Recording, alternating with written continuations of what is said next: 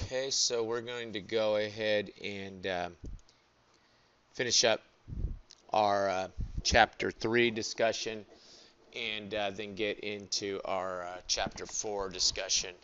Uh, we should be able to get through both of those today. So, uh, we were talking about ethical um, issues dealing with business, and uh, we talked about some of the different scandals, et cetera, and you saw a couple of things that have come up as a result of uh, some of the uh, uh, ethical um, issues. And so what happens is uh, the government ends up getting involved if companies don't, you know, police themselves properly with their ethics. And so uh, throughout the years, there have been different uh, consumer protection laws that have come out and you have this uh, customer bill of rights and you can see that's back in the 60s where we're almost like 54 years ago. Um, they don't mention it here but to ralph nader uh, a name you may have heard of before is somebody that uh, wrote a, a, uh, book called unsafe at any speed and it was his analysis of uh, i think it was a ford Carrera, I forget the vehicle, but his point was that the thing was unsafe at any speed. It didn't have the appropriate uh, safety, vehicle safety requirements, and uh, that book and those observations started leading to consumer protection requirements that we put seat belts in cars, airbags, etc. All of this has come out of um, you know these uh, consumer protection laws and the Consumer Bill of Rights, uh, right to safety right to choose information, and the right to uh, be heard if there is some uh, problems. And uh, all of these have led to, you know, businesses having to operate in a more regulated environment and deal with, uh, you know, um, uh, legal laws and regulations of various industries, auto industry, etc. And uh, so you come over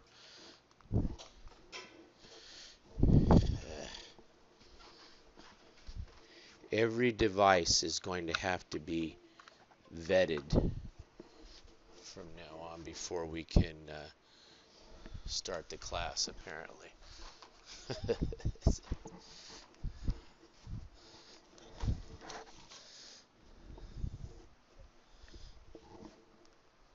okay, there we go. When one doesn't work, we have a replacement for it. Okay, so um, one of the major laws um, that came up has been this Sarbanes-Oxley Act that I may have mentioned in here before. Uh, Sarbanes was the Democrat senator. Oxley was the Republican House member, and they got together to come up with the Sarbanes-Oxley Act. And what it basically did was institute uh, severe penalties and regulation for entities that engaged in fraudulent financial reporting. And uh, there were really two key um, scandals that caused this. One was uh, what we mentioned on this slide, Enron. And what happened was Enron was basically reporting revenues even though they weren't actually making sales to external parties. The sales were all to uh, affiliates that they controlled. Well, if you have an affiliate that you control, that is not considered a sale. That is something that should be eliminated for financial reporting purposes. I can't sell stuff to myself and make it look like I've got these huge profits. And so, uh, it was somewhat complex. And I think that to the large extent, Enron issue is not what brought in Sarbanes-Oxley as much as the second one that isn't listed here. Enron's a little more famous, but the one that really brought on uh, Sarbanes-Oxley was now the second one that came around in the heels of Enron, which was WorldCom. WorldCom was a global communication company and what they were doing is they were taking items that should have been expensed against their revenue and they were capitalizing those items, showing them in their balance sheet to make their net income look larger. And once that happened, uh, it was such a basic thing that they were doing that everybody could understand it.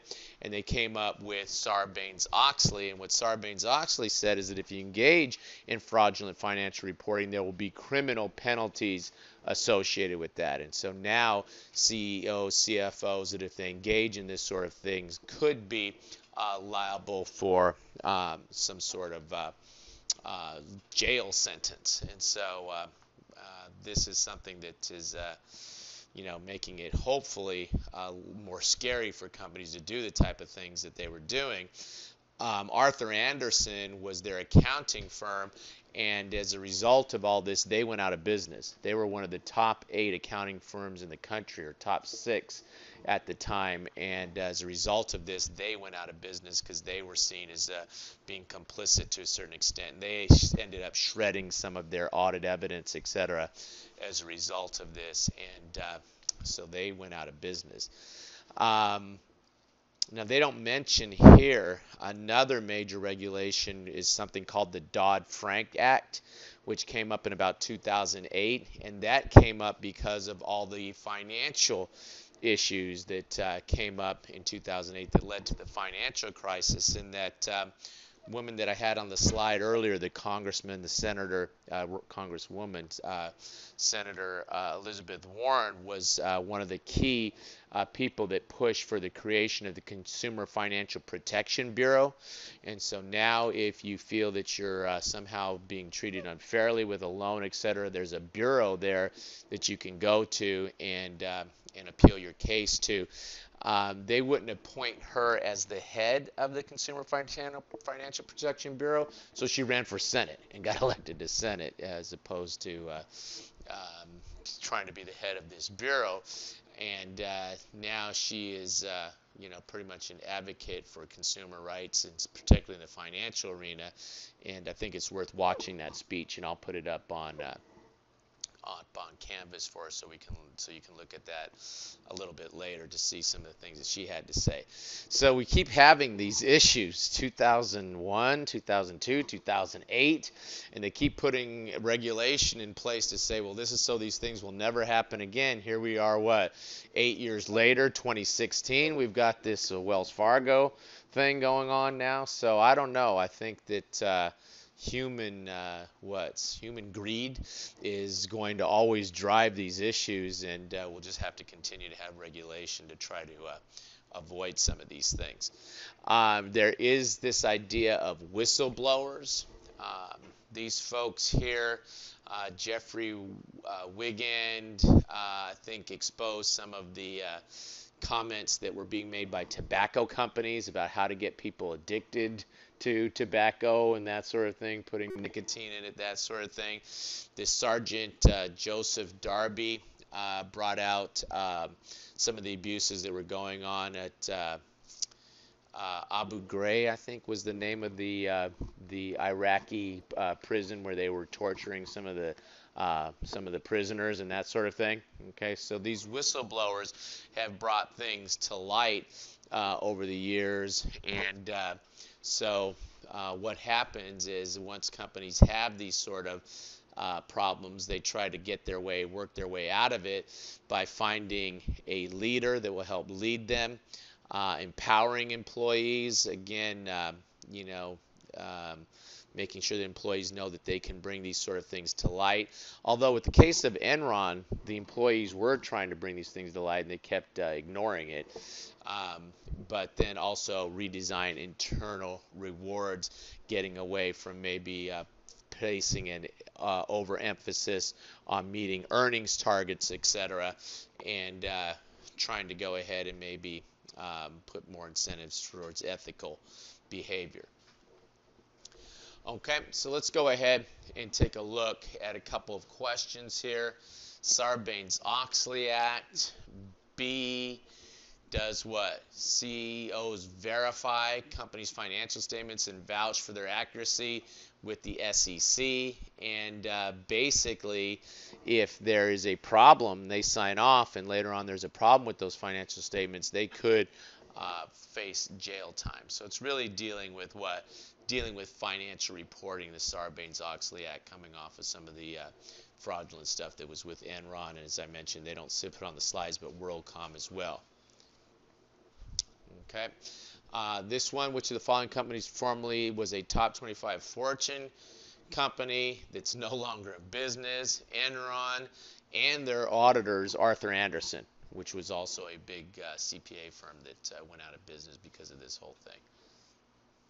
Okay, a whistleblower, is someone who reports misconduct occurring in their workplace, and they are protected by whistleblower laws, by the way. There are laws in place that if there's a retaliation against a whistleblower, um, you know, the, uh, the company could be found liable for, uh, for interfering with that process. Okay, um, so how can we create new markets with uh, ethical focus? Um, you can see some of the things up here offering clean fuel. You almost look at a company, um, even though it's not fuel, but you look at a company like uh, Tesla is really creating a market with a economic focus, right? I mean, a, I should say an ethic, ethical focus um, by creating cars that don't pollute the air, right? And uh, their leadership really in the industry is causing more and more uh, cars to uh, you know expectation by consumers now is that they'll have low emission cars, which of course saves fuel, etc. Um, medical vaccines, the creation of that. Did I talk about Jonas Salk in here? I don't think I did. Jonas Salk. Anybody ever heard of Salk? Who's Jonas Salk? No. Uh, Jonas Salk. Now, this is going back sometimes, but it's a good example, I think, when we talk about creating vaccines. Uh, this is in the 19, I think it's like the 1950s. 1950s. Uh, he created the vaccine for polio. Okay. Prior to uh, the creation of that vaccine, polio was something that was feared. It was like uh, it's probably not the best example, but sort of like, you know, it's like the cancer of that day. Okay, everyone was afraid that their kid was going to come down with polio. It was a big deal. And um, my dad always talks about the fear, you know, that that was, uh, you know, around in the 30s and 40s when he was a kid, about oh, you know, someone so so got polio, and oh, geez, I hope my kid doesn't get polio, all that kind of stuff. And what he did was he created the vaccine. You probably don't even know when you were born, you got a polio vaccine shot, and that polio vaccine vaccine uh, sets it up so that nobody even gets polio, or at least on a rare occasion somebody gets polio, maybe if they're in an underdeveloped country that doesn't have the uh, vaccine process. But now polio is pretty much defeated because of this vaccine. Okay, so you're a pretty smart guy, right, to sit there and come up with the vaccine that not that, so that you don't even get the disease to begin with that was scaring everybody at that time. Well, something that Jonas Salk did is he did not patent the uh, vaccine. Once he created that vaccine, he didn't patent it. What does that mean if he doesn't patent it? Huh? Say again? He doesn't own it, which means what? Anybody can produce it. Remember, we talked about what? We talked about if it's pure competition, that's going to bring the price down of that particular item. And he did that so that it would be readily available to the uh, public so that everyone could get that vaccine. If he had patented, he probably could have made a he would have made a fortune off the thing. Instead, he just uh, went ahead and made that available to everyone in the market. So uh, I don't think there's a whole lot of uh, examples like that um, these days, and we saw the examples where uh, we have some of these pills and whatnot that they want to charge you outrageous prices for. So uh, when you need them to to survive, uh, going green. Okay, I don't know about this fighting censorship, whatever. I mean, there's a lot of. I don't put that quite on the level of some of these other things. I mean, I guess you could fight censorship, but um, going green, okay, is um, you know this lady's wearing green, okay, to show to emphasize that, and what um, you know, basically um, improving our product, et cetera, by going green could actually be cheaper. Didn't we talk about this? Okay, where I talked about, so I think we talked about this one, where we talked about some uh, low income housing that I was looking at, and they actually reported to us at the GAO, my office where I work, that they actually were saving money by uh, going green and putting more energy efficient products in the homes that they were developing, et cetera. Okay, um, so again, uh, steps to make sure employees get off to an ethical start, having a code of conduct um, mission statement, um, having orientation programs that make sure that uh, the employees are aware of the ethical focus of the company. Okay, and so you can see some of the things that uh, they could do here.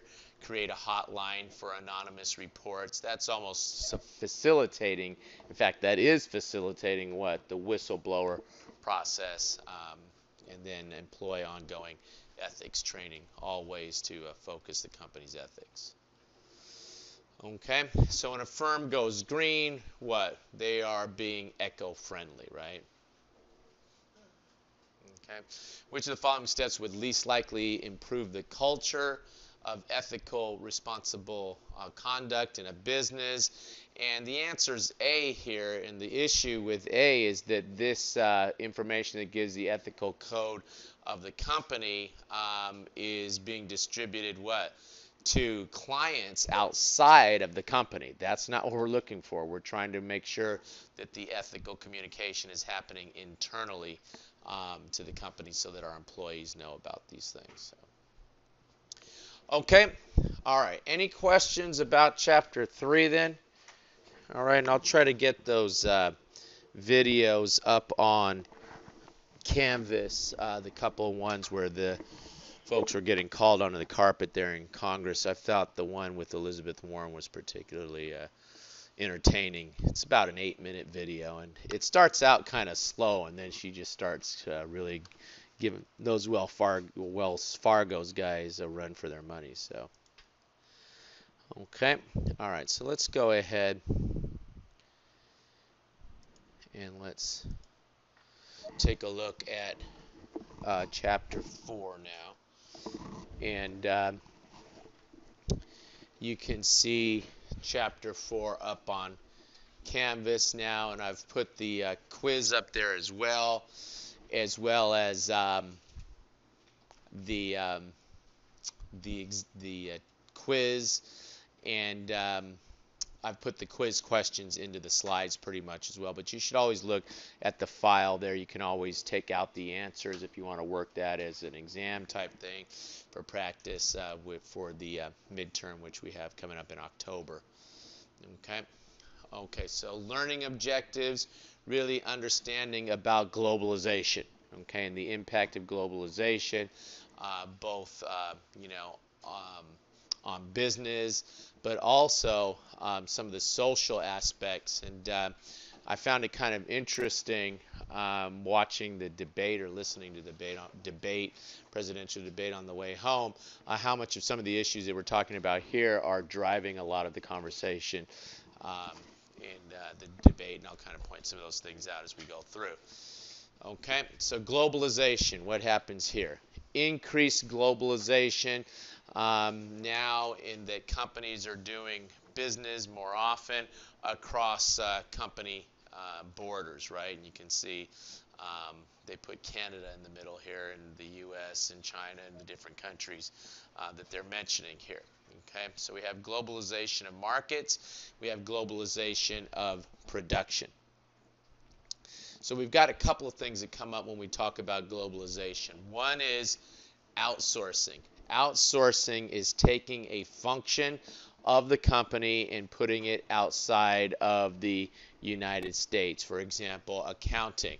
I had a friend that uh, worked for a uh, property management company, and uh, she told me one day, Guess what? I'm getting laid off in two months. What happened?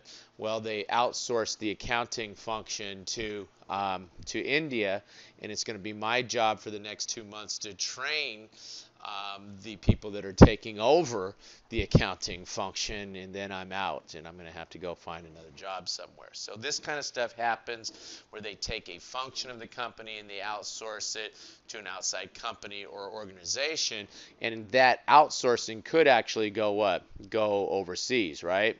Okay when we have uh, offshore outsourcing. So that's called out, offshore outsourcing when those functions go to a um, foreign uh, country. So we can have outsourcing in general, it doesn't have to be outside of the U.S. And when we go offshoring or out, offshore outsourcing, uh, that's where it goes to a uh, foreign loca location.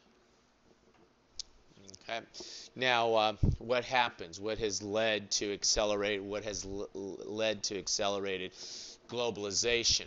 Uh, decline, decline in trade and investment barriers. And we're going to see that uh, some of the trade agreements that have been in place uh, for several years now have uh, helped with this.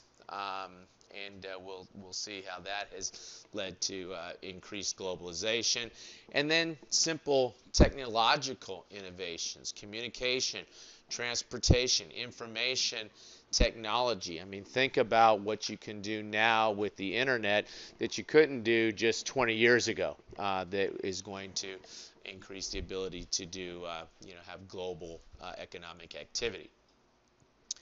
Um, so if you take a look, uh, there's a growing role for developing nations with globalization, uh, particularly those with emerging economies, um, potential for lower costs of, remember, our factors of production, and one of them being labor.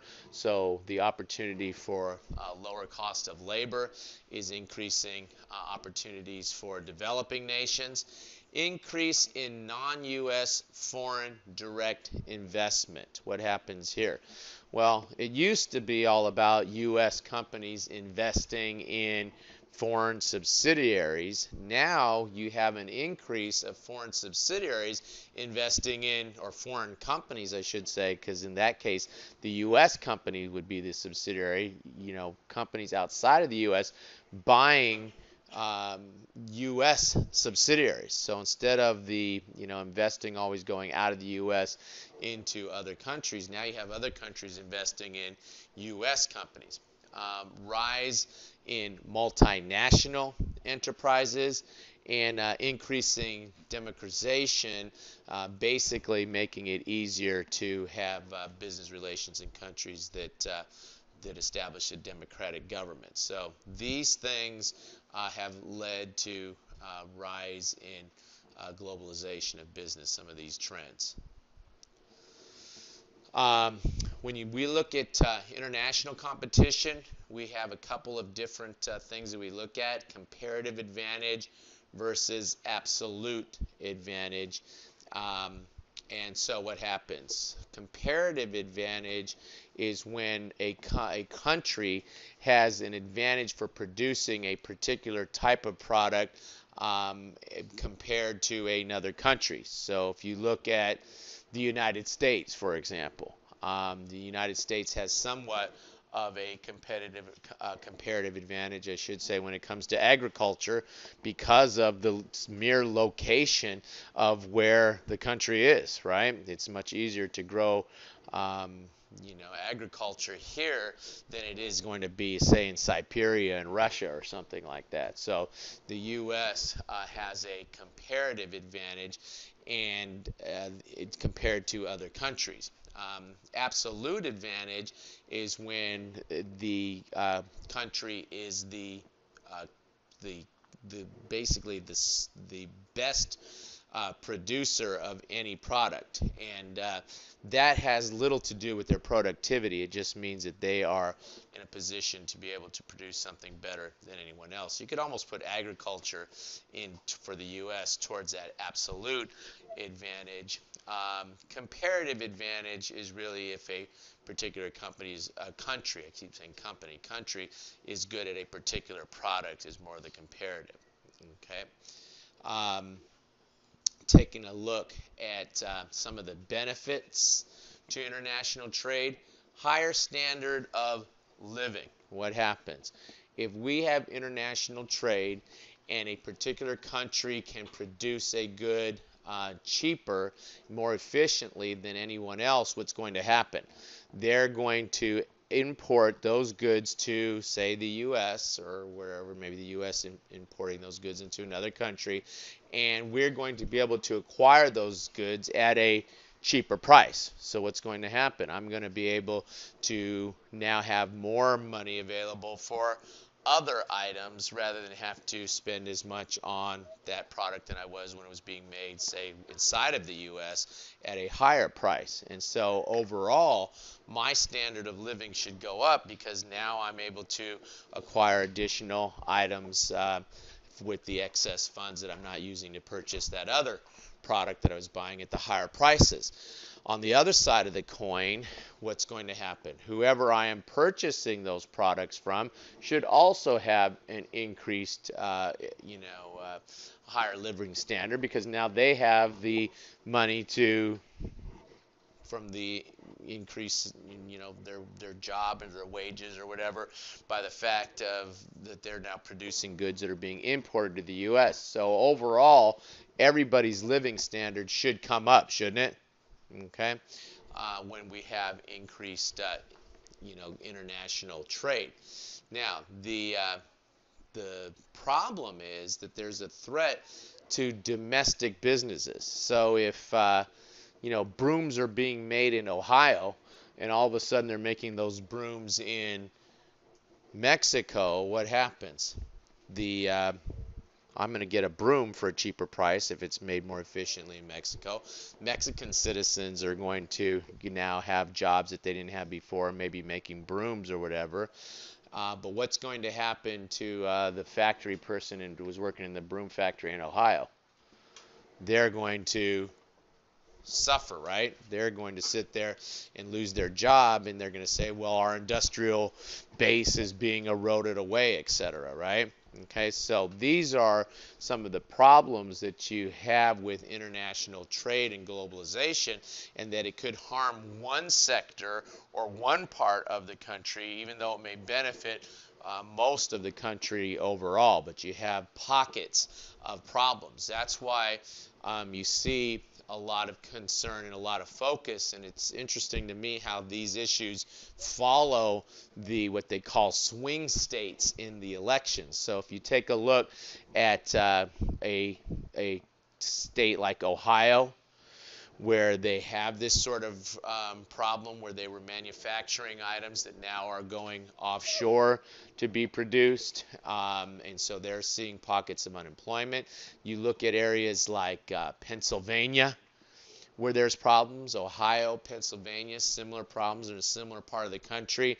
And they call these swing states because these states often will have a pocket like that where there's an industrial base that's being affected by off, uh, by globalization, offshoring of uh, of production of product. Um, by the same time, they also will have uh, economic centers like or big cities like in if you look in Pennsylvania, they have um, they have Pittsburgh, which is more of an industrial base, but they also have what? They also have Philadelphia, which is more like a uh, metropolitan hub like you would have here in San Francisco.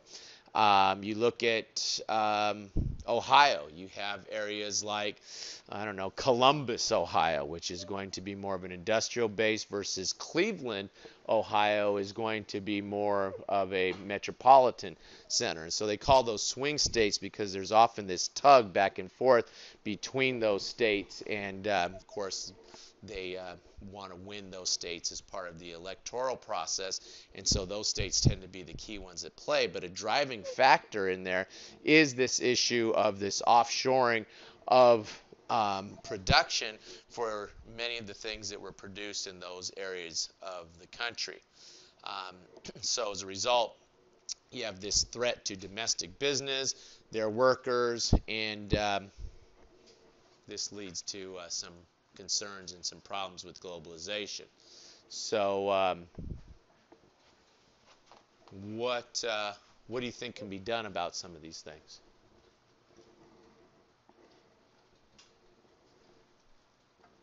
What could be done about some of these things? Some of these problems. Okay, so no points for attendance today, right? Because you guys are going to just sit there and let me hang like that? So I'll make sure and not give you guys any points for this. Huh? No homework points today? Okay, so let's go ahead and let's take a look. At, did you have something?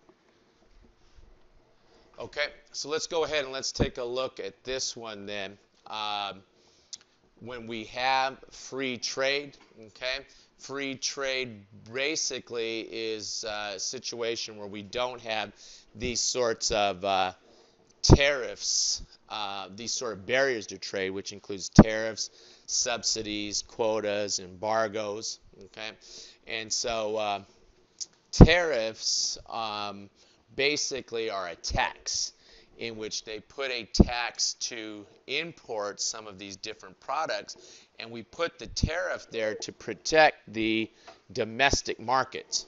Okay, so we have tariffs, and I mentioned some here: um, paper clips, sneakers. Okay, they put tariffs on sneakers that are produced outside the country, tobacco, canned tuna, I guess. All of these things are tariffs where they put a tax that is going to increase the uh, cost of these items in the U.S. when they're imported from outside, and so um, consumers will do what? They'll be interested in purchasing the stuff from the um, from the local uh, producers or the U.S. producers, so that protect, protects U.S. producers. Um, this is, I guess, what uh, Trump is talking about doing when he starts saying, well, look, uh, we're going to protect the local producers of items, and he starts talking about, well, we'll put a tax. Basically, if you leave the country and you produce offshore and you want to import those items back into the U.S., he says we're going to tax you to bring those back in. Well, that's essentially a tariff, is what he's talking about doing there to protect uh, the local uh, producers or the U.S. producers.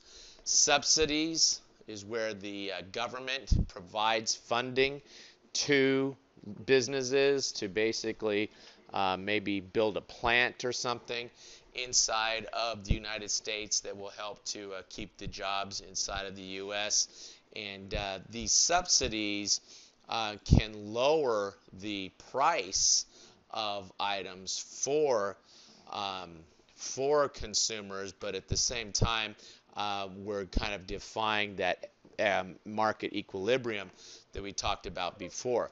Now, I mentioned the NFL here uh, as an example of an as a of a of a business that gets subsidies. What would be the subsidies that would go to the NFL?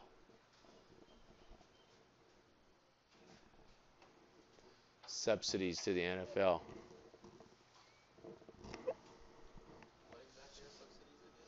Subsidy is where the um, government provides some sort of funding to build a factory or maybe even um, you know provides them with uh, just cash funding uh, to keep the business afloat.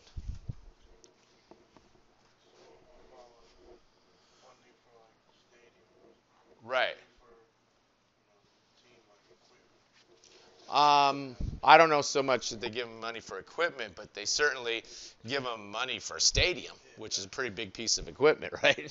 Okay, and there's a lot of discussion about how, you know, that a government, how come and this is the issue with the Raiders, and they're looking for Oakland to kick in some money, and everyone looks and says, well, wait a minute, San Francisco, the 49ers built their stadium all on private financing, didn't they? The Giants build their stadium, San Francisco Giants build their stadium using private uh, financing, and there was no public subsidy that came in for that sort of thing. Okay. Um, they got rid of it in California, but they used to have uh, economic development uh, funding that was available for these sort of things, which would be an example of government subsidy.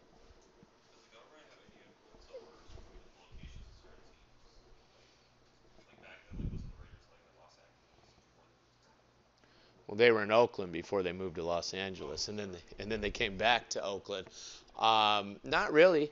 I mean, there's not much they can do. It's been t- attempted a few times for the cities to get involved, and uh, they end up not having any legal rights on that. Um, they have tried to come in and say, well, how can uh, San Jose, when they were trying to move the A's down there, they actually sued Major League Baseball to say, how come how is it that Major League Baseball has the right to the city of San Jose? We're San Jose, but uh, that was thrown out of court, and that Major League Baseball has a constitution that uh, all the teams agree to, and uh, the cities really don't have much of a right to say this is the team that's going to be in our city. I guess they could reject it if they wanted to. They don't have to have the team in that city, but I don't even know that uh, I guess there'd be some negotiation there, but I don't even know that they could stop that if they really, uh, really didn't want, really, really uh, tried to. I don't know that they could stop it. I guess they could stop it. I don't think that they could cause it to happen though. That it, where a team would come there if the team, there was some other agreement that was stopping the team from going there. Huh? Do what for tax purposes? What do you mean for tax purposes? Like not charge them tax? Um, the NFL was tax exempt uh, for several years. The NFL itself, the, the association, it was uh, tax exempt. Uh, they gave up that status because of the political uh, environment being everyone pointing to here you have this multi-billion dollar industry that's not paying tax. Um, but yeah you could offer uh, a, a ben- tax benefit. I think that's what they did with uh, the company i think it was i want to say it was is it facebook that moved to um, the mission not the mission district but uh, certain part of the um, Tenderloin area of San Francisco, they basically uh, gave them a tax break to move to that area to help, you know, the economic environment of that part of the city. So yeah, they've done that where they'll offer tax breaks on that sort of thing. I don't know about for the NFL, but uh, they did it with that one. Sir, did you have a, a comment?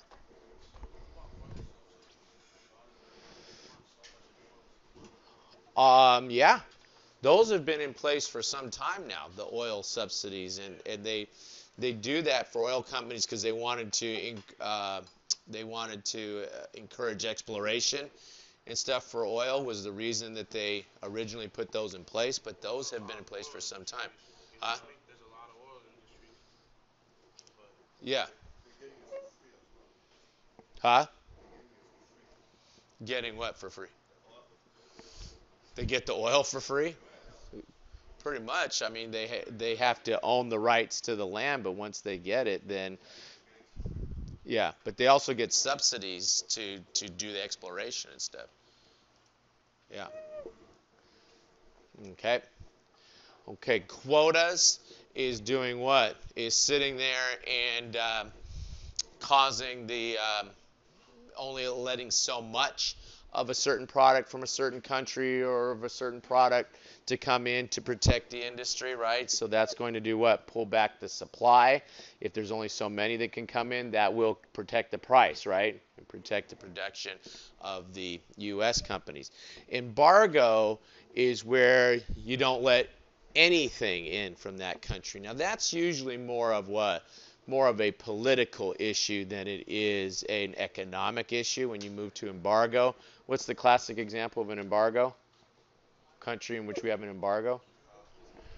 Cuba, huh? Well, Cuba is the one that I think about a lot because I like I had a Cuban cigar before, and that's all I've thought about in terms of cigars since then. All other cigars pale compared to Cuban cigar. And you say, well, where'd you have that if they're illegal? I actually had it in Beirut. Um, I was visiting Beirut, and they come to there and they say, "Would you like a cigar, sir?" And uh, sure. And I look, and there's Cuban cigars, right? Well, yeah, I'll take a Cuban cigar. I'm in Beirut, I can do that. And so um, that's an example of an embargo. Was there another example?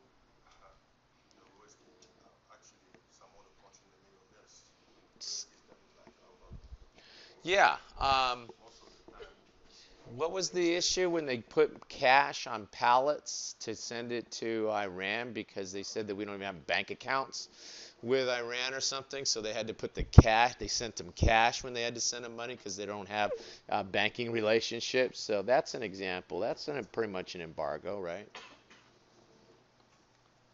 Any other examples? I've heard Cubans refer to the embargo as a blockade. That's the reason that if you go to Cuba, and now they're starting to allow for limited uh, trade between the U.S. and Cuba, but if you go right now, um, why do they why do they have all the you ever know seen pictures of Cuba where they have all the old vehicles in in Cuba? That's all you see are old vehicles. Why are they maintaining all those old vehicles? Because they can't get any of the new vehicles. so that's why it's almost frozen in time in terms of the vehicles and stuff because they haven't gotten anything new in the last, you know, 50 plus years uh, since uh, Castro took over. So. Um, so anyway, these are different ways, and, and, that again, the embargo becomes more of a political issue than it does a, an economic issue. But these others, subsidies, tariffs, absolutely, quotas, uh, local content requirements um, gets into that even if we are going to um, import things, some of the products that are part of that particular item should be made locally. Yes, sir.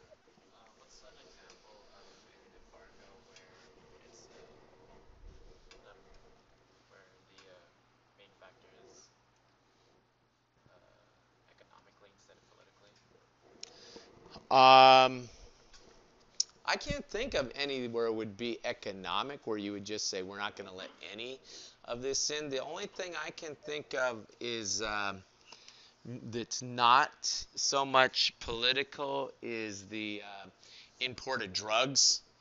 Okay, that's going to be a little bit more of a uh, public safety issue, I guess, um, that they want to consider there. Although that kind of gets political too because these pharmaceutical companies they lobby quite a bit don't they? And so it's questionable as to how much of that is also political as well right? Okay. Um,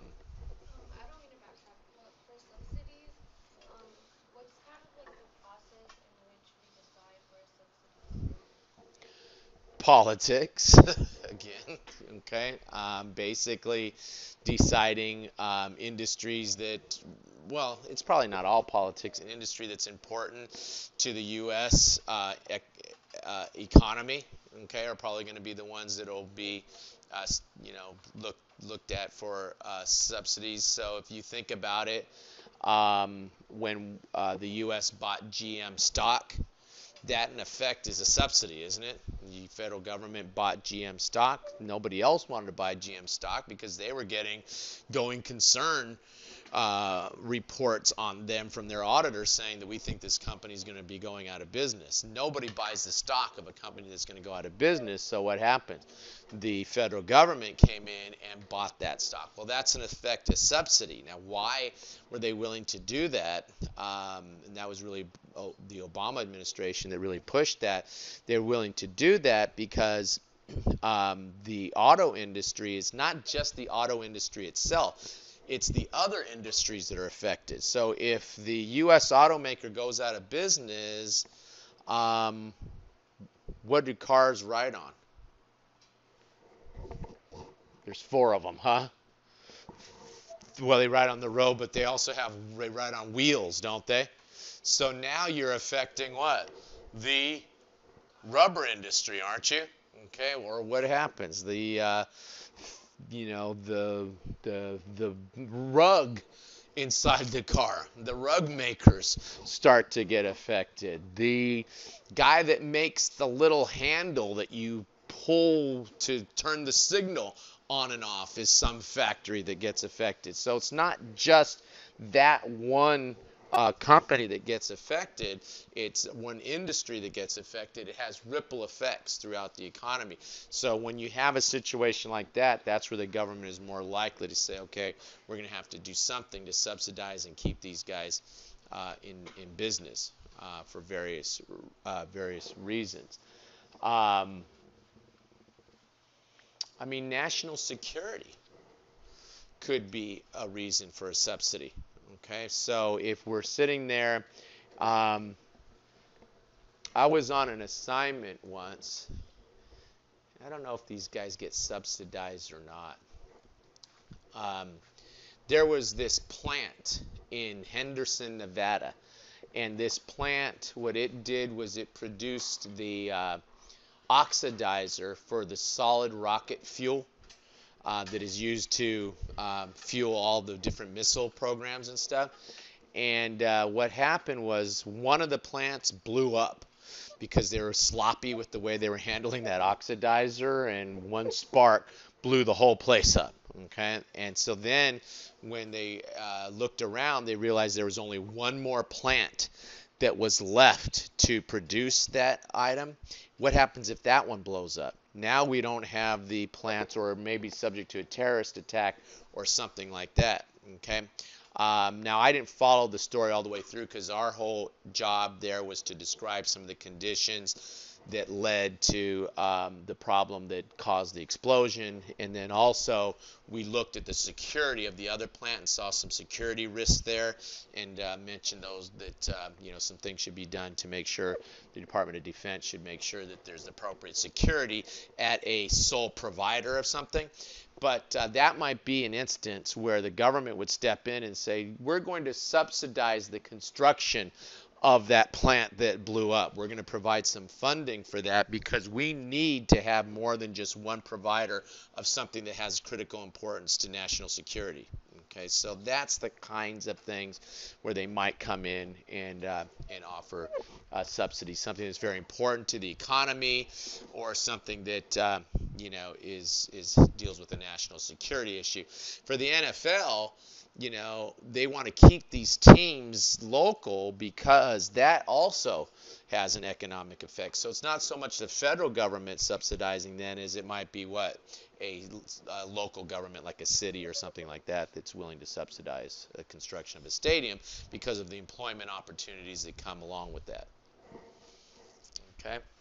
Uh, local content requirements, again, if the entire product isn't going to be made here, we'll say, well, at least the components that go into that item have to have so much, uh, you know, U.S. Uh, made products, etc.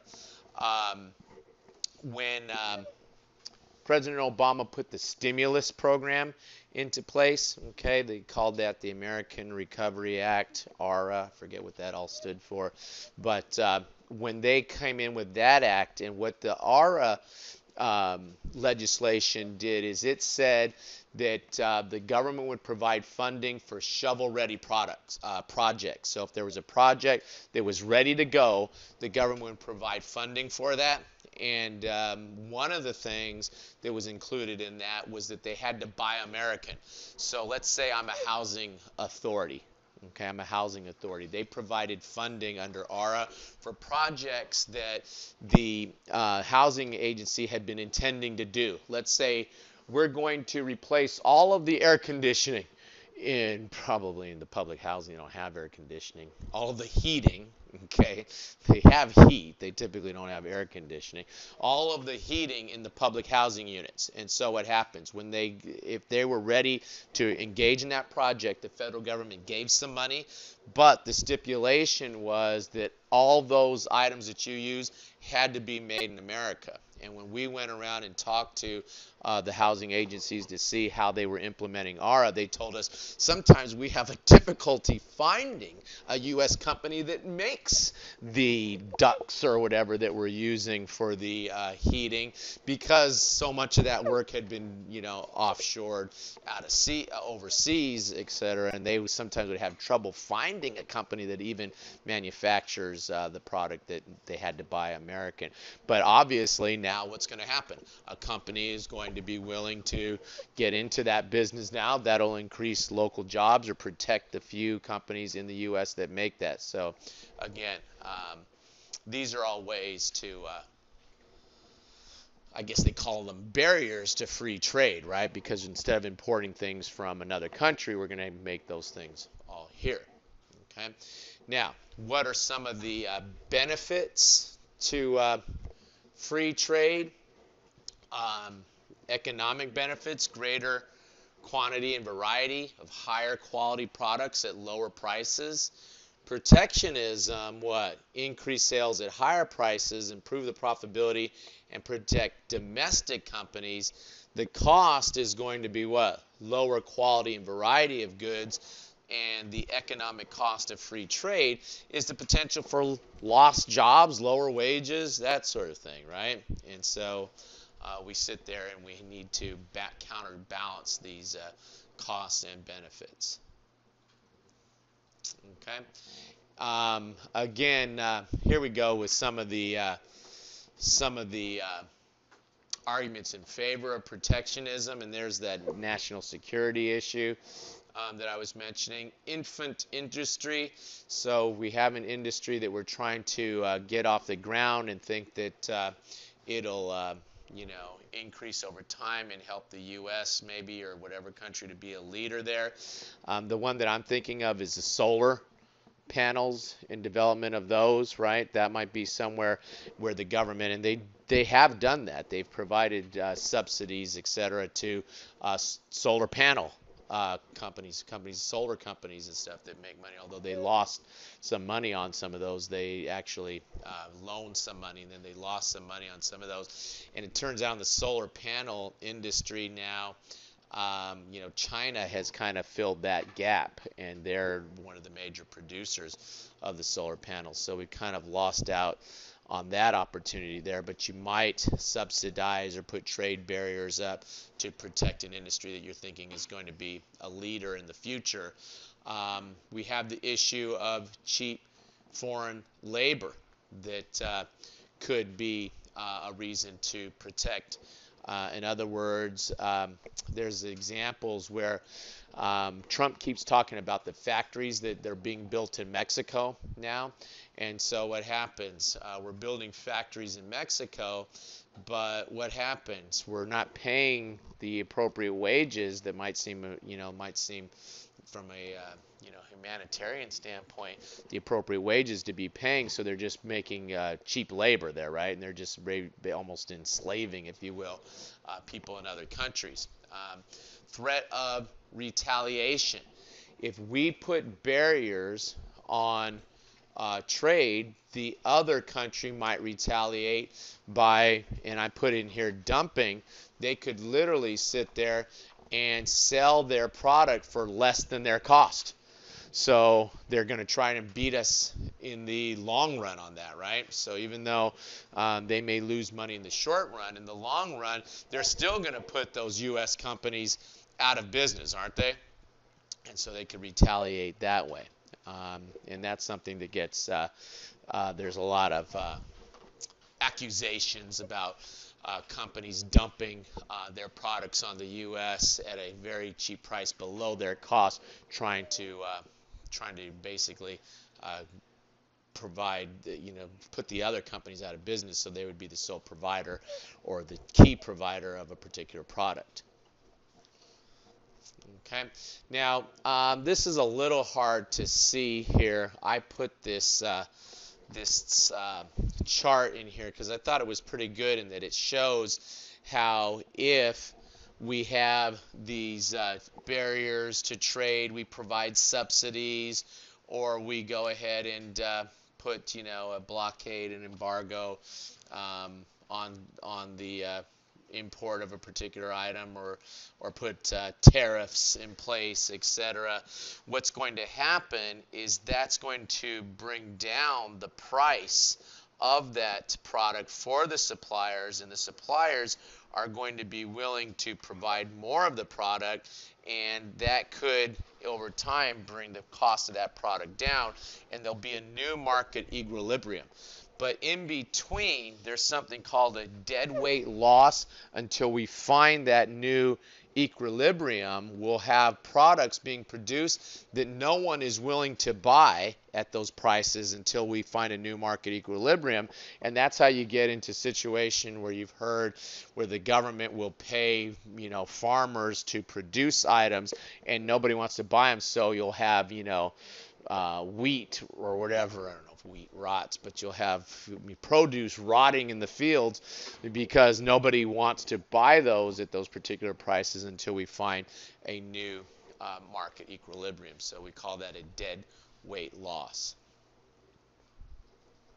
Um, oh, one thing here. Um, so there's economists who feel that you shouldn't provide any of these subsidies. What you should do is you should re-educate workers uh, to work into area, move into areas where there is increased uh, economic activity, and out of some of those areas where there is decreased economic activity because a foreign competitor has uh, taken a market away, and that over time, that will be a better approach than just trying to hang on to those uh, markets, those products that are uh, the market for those products that are being produced overseas, and uh, over time, everyone will move up together. So what will happen? The consumer will get lower prices. The people that are displaced will find new opportunities. They will be in a growth industry, so they'll see benefits over time, and that that is better than trying to uh, put subsidies in place, et cetera, that will um, that will um, protect these markets. Okay. Now there's a couple of agreements that have been in place for some time. Uh, one is the General Agreement on Tariffs and Trade and there's 23 member nations. And uh, really, what they're saying here is, look, rather than get into these uh, wars, etc. Notice the years to when that's established, 48, right after World War II. Okay, sort of like the whole idea with the United Nations, etc. Rather than fight wars either economically or otherwise, hot wars versus you know Cold War, economic war, we're going to um, go ahead and have a general agreement on trades and tariffs so that in the future uh, we can negotiate these things rather than have the uh, you know international um, you know environment deteriorate as a result of these things. Uh, that was replaced by the World Trade Organization in 1995 uh, and uh, basically what it does is it arbitrates global trade disputes. If we say it arbitrates, what does that mean? If you have an arbitration, what does that mean? Huh? There's there's different types of ways that we come to agreements with other parties. One is through negotiation okay, where we'll go back and forth on our own. We'll negotiate back and forth as to what we're going to do. One is, another one is what is mediation, where a third party will listen and say, okay, look, guys, this really is what you should do. But at the end of the day, it's up to us to agree. Okay, so the mediator will help the negotiation along. And then an arbitration is where there's an arbitrator and they tell us this is the solution and this is what you're going to follow, right? Okay. So this World Trade Organization can arbitrate the decision. They'll listen to the countries that are involved in this um, back and forth, and usually there's a complaint that is issued to the WTO, and then they have a hearing on that, and each side can present their case. But ultimately, they're going to decide what happens, right? Okay. Now they say that it has the power to enforce the decisions. What would be? How would they enforce the decision? I'm the United States, and I say no. I'm not going to do what the WTO arbitrate I should do. I'm not going to do it. I'm not going to agree. I'm not going to uh, limit the amount of.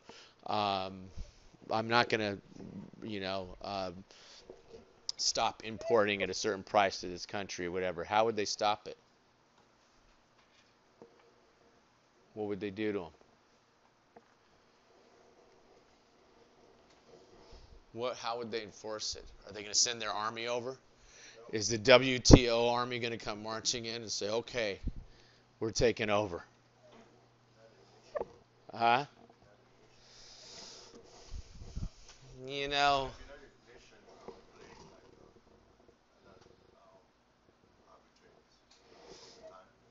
Yeah, I don't think the UN gets into trade issues. They're sort of like the UN of trade issues, right?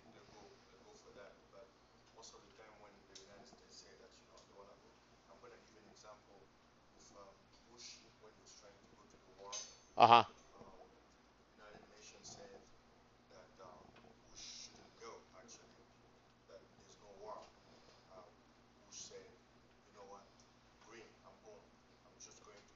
Yeah. Right. So they just did it, right? So when it comes, so in that case, they're going to war, right? In this case, all they're doing is selling some products at a price, a cheaper price. So, so really, they have no power when you really think about it. I mean, they can't stop another country from doing something. So, what would be, what would be the power that they would have? So I go ahead and I don't listen to WTO. They arbitrate and I say, here, I'm not doing it. Now what? Now the other countries going to, with the blessing of this World Trade Organization, the other country, I should I say company, other country will say, okay, well then we're going to do this, and we also have the blessing of 152 other countries at that point, right? Okay, so it's sort of a soft power, isn't it? Okay, it's almost, uh, well, you're going to face the uh, sort of, uh, you know, browbeating of the rest of the world. I mean, it's not like they have an army that comes in and requires a country to do something. So it really is a, uh, you know, almost a what, a, an association where we all agree to, uh, to listen, but uh, you don't have to. And I'm sure there's some countries that say, well, we're not going to go through this World Trade Organization. We're not going to do it. I find it interesting that um, when um, you hear in the debates the debate, you know, Trump said, well, we're going to tax these companies if they're going to do this, and we're going to tax them to pro- to import their products back in. Nobody says, well, you know, the WTO might have something to say about that, Mr. Trump. I mean, it's not like you just go ahead and you decide to do that, and there's no worldwide consequences associated with just going ahead and making a decision like that, right? So. Uh, but uh, I think what happens is it gets politics. You start mentioning the WTO, and they in these discussions, and they start saying, "Oh, I don't like that person because they're too much of a policy person. All they talk about is policy, and they don't feel the real pain of people." Well, it's a reality that uh, you just can't go ahead and do things and not have something like the WTO come in and say, "Hey, we're not gonna we're not gonna allow this." So, okay. Um, so we have these different trade agreements. The European Union is the largest. Is this country still part of it? What country is this? Let's turn this into a geography lesson. What country is this? Right here? Huh? This is United Kingdom right here, right? Okay. And are they still part of this? They are saying anyway they're going to back out although right now nobody knows well exactly what does that mean and how are you going to back out of it and what is the consequence of that? So there's still this sort of like huh? And i think there was such shock and surprise that they actually did this that nobody thought past the idea of just the vote to uh, get out and how that's going to be implemented exactly. But a lot of it um, had less to do with economics and had more to do with what? With social social issues, right? The problem, uh, part of what happened with the European Union is it what eased up the borders, and then when you had some of the crisis and what happened in, uh, Syria and some of the refugees, etc., and some of those problems, that to me had more to do with the vote to get out of the European Union than an economic one, um, and so. Uh, it's kind of interesting that they've gotten out now. And what the overall impact on that is going to be is is uh, interesting. This came up after uh, World War II, 1957 uh, is when they started it, but a lot of it was to avoid some of the problems that had caused World War II. And I think it's interesting that you know people vote for something like that and they don't understand the historical perspective, and then they just decide to vote to get out. But uh, this is the European Union it is the largest uh, of the uh, largest exporter, second largest, largest exporter and the second largest importer uh, in the world, and it has one third of the world's production. So this is uh, was a big deal. Okay, and uh, I listed the I got this off the internet of the different countries that are part, and I noticed that they still had the United Kingdom uh, listed down here, but uh, maybe because they're not officially out yet, I don't know. But you have all these different countries that are part of the European Union. Huh? They're out now. Okay, so I'm not sure why this website had them uh, had them listed as still being a member, but uh, maybe they hadn't updated it. Okay, uh, North American Free Trade Agreement (NAFTA) you hear a lot about. This was signed into law during the uh, Clinton administration. Okay, and Clinton's uh, Clinton one signed it. And uh, I heard Trump saying yesterday during the debate, he says this is the worst trade agreement in the history of the world, he says. Um, and when he says that, he's talking to the broom manufacturers in Ohio. Now, I don't know if it's actually broom manufacturers in Ohio, but just using that as an example, that what? That factory is now in Mexico, right? And so, yeah, if you're a broom manufacturer in Ohio, he's right. It is the worst trade agreement ever uh, put into place. And he's talking to those people in Ohio because he wants to win that state with the election. Okay, so uh, what I did is I went ahead and uh, saw if there was agreement, you know, amongst economists that that is the worst uh, trade agreement ever. And uh, let's just look at some of the pros. It's a little hard to see, so I'll read some of these. And we talk about a tariff that is going to do what? Increase the price of items so that we protect the local uh, markets. And what NAFTA did was take away some of those tariffs, et cetera, so there'll be more free trade. And so the decreased trade restrictions brought about by NAFTA have made it easier for Americans to purchase Canadian and Mexican goods. Oh, NAFTA is Mexico, United States and Canada, right? And no one ever talks about, oh, jobs going to Canada. It's always, you know, let's talk about the jobs going to Mexico. Well, some things probably went to Canada too. As of 2010, the most recent year for which these data were available, the United States received about a quarter of its import from these two countries, which are its second and third largest supplier of imported goods. In particular, the U.S. gets much of its crude oil, oil, vehicles, machinery, and gold from these two countries, as well as fresh produce, snack food, live animals, red meat. I don't know what the difference. So I guess if the animal's still alive versus just being red meat, and chilled and frozen foods. Uh, all three countries experience, experience real wage increases. According to November 12th Washington Post article, a study done by the Federal Reserve. Remember, the Federal Reserve is the uh, organization that has the Federal Reserve board that makes the decision about interest rates, etc., showed that NAFTA increased wages by uh, in the U.S. by 0.17%, in Canada by 0.96%, and Mexico by 1.3%.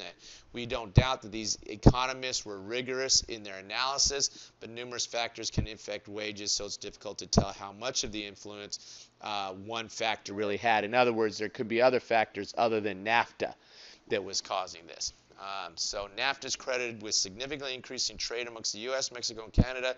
The U.S. alone traded 1.6 trillion in goods and services with its NAFTA partners in 2009, the latest year for which data are available, and the U.S. sold 32.2% of its exports to Canada and Mexico in 2010. Okay, so again, this thing is talking about the pros, and I didn't put the cons up here because the cons had nothing to do with the uh, of the study had nothing to do with economics. It was well the problem is that you have now what? You have US companies moving their plants to Mexico and the ultimate problem there if you're not a broom maker in Ohio is that now there's almost this slave labor thing where what we're give, paying such low wages to Mexicans to work in these factories. So there were more social issues in the cons than economics. So when Trump says it's the worst trade agreement ever, I guess he's talking to broom manufacturers in Ohio and he's talking to Mexicans who are being treated like slaves in their own country, right? Is basically uh, who he's who he's talking about this harming. Okay. Okay, good. Uh, there's other regional ones as well. Uh, we don't need to get into the detail of all of these, but these are all uh, regional trade agreements. Okay, so let's take a look at a couple of uh, questions here. U.S. consumer electronic companies has to shut down because it cannot compete against foreign manufacturers.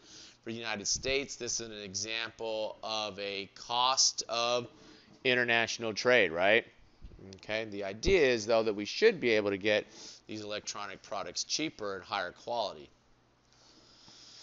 If the nation of Epsilon places a tax on all grapes imported from the nation of Zeta, Epsilon has imposed a what? A tariff. We put a tax on things, that's a tariff. Right? Okay. Uh, number 33, the cheap foreign labor argument for protectionism refers to a lower wage often earned by foreign workers. Okay, cheap foreign labor argument centers on that sometimes significantly lower wages paid to workers of foreign companies how can domestic companies compete with these low wages? Sometimes they can't, which motivates government leaders to impose trade restrictions, etc. And what they're not talking about here is the the social aspect of a U.S. company going in and building a factory and paying, you know, barely livable wages, et cetera, and exploiting um, folks locally. And we talked about that in our uh, ethical chapter. Okay, 39 here. And again, these question numbers, I keep that so when I prepare the test, I'm going to go back and see where I got these questions from. A free trade area that includes Canada and the United States, but not Japan, is what? NAFTA, North American Free Trade Agreement. I mean, all you need to know there is where Japan is, which is not in North America, right? Uh, but of course, Mexico is the other country that's part of NAFTA. Okay, strategies for international business. Okay, global is where I sell my product as it is wherever. I would think that uh, Apple is probably with the iPhone is probably global, right? They don't sit there and they don't have a different version of the Apple for uh, different uh, countries. Okay, and so what's happening? The product is going to be standardized, and uh, there's going to be price competition uh, for other similar products that would also be marketed in those other countries. Uh, with multi-domestic, okay, we will tailor the product now to the particular local market. And um, ex- for example, I've heard you can go into McDonald's and order rice with your hamburger or something, right? In in Japan, uh, um, so that might be trying to tailor your product to that particular market. Okay, transitional, we're going to customize our product to those customers in those particular markets, and we're just simply trying to provide that uh, service uh, to those uh, particular um, customers in those particular foreign markets.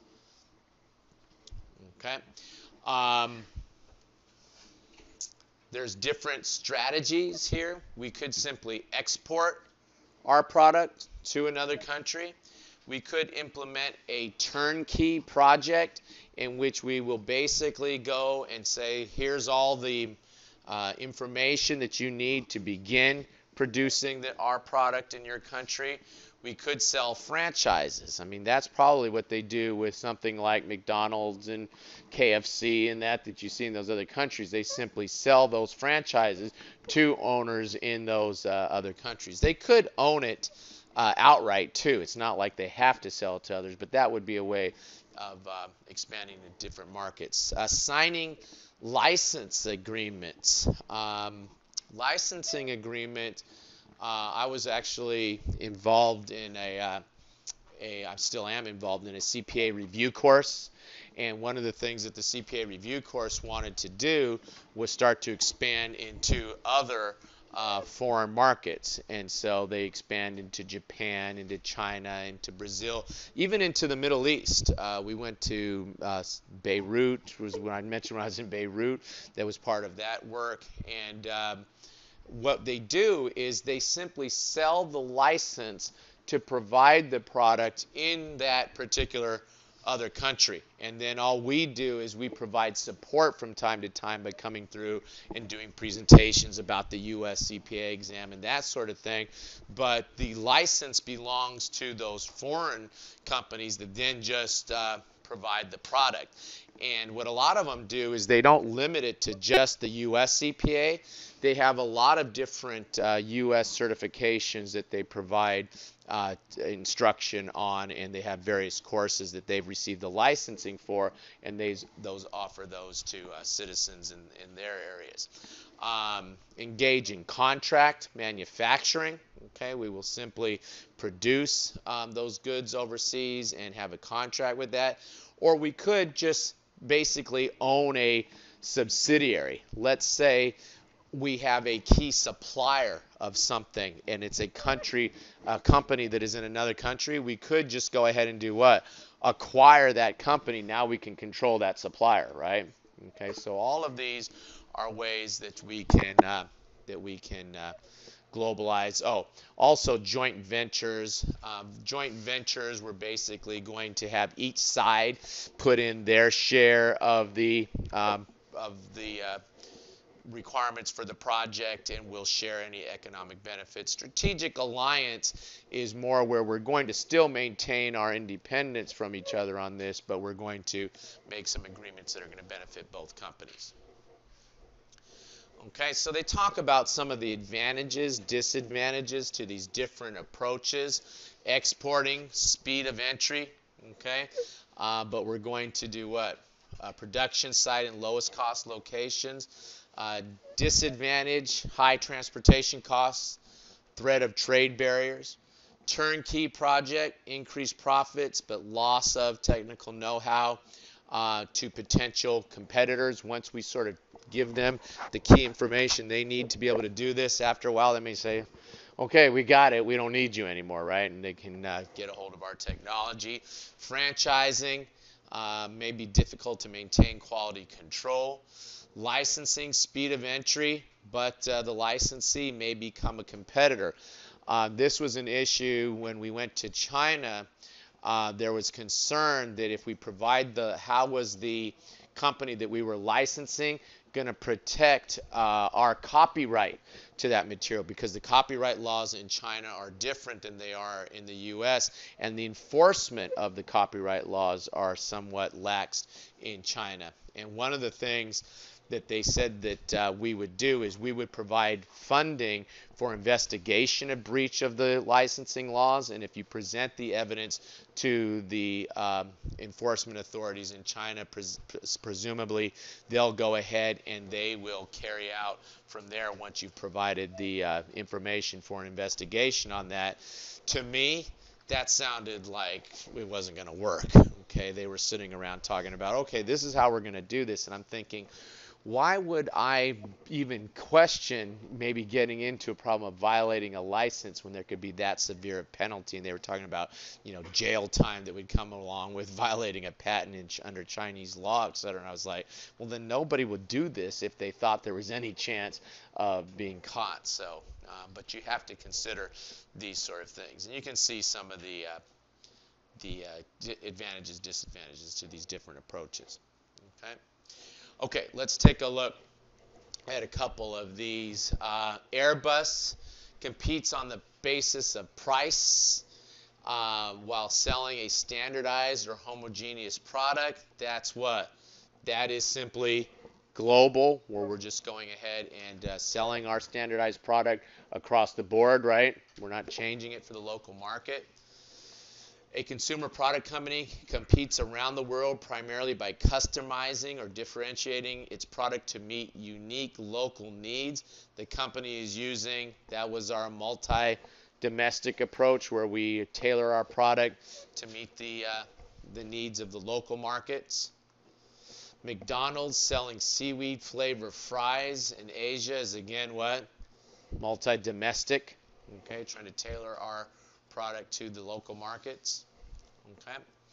Okay, so I'm going to stop us there. Uh, we're going to pick up and talk uh, more about how exchange rates can affect our ability to sell our products overseas, etc. Okay, next time.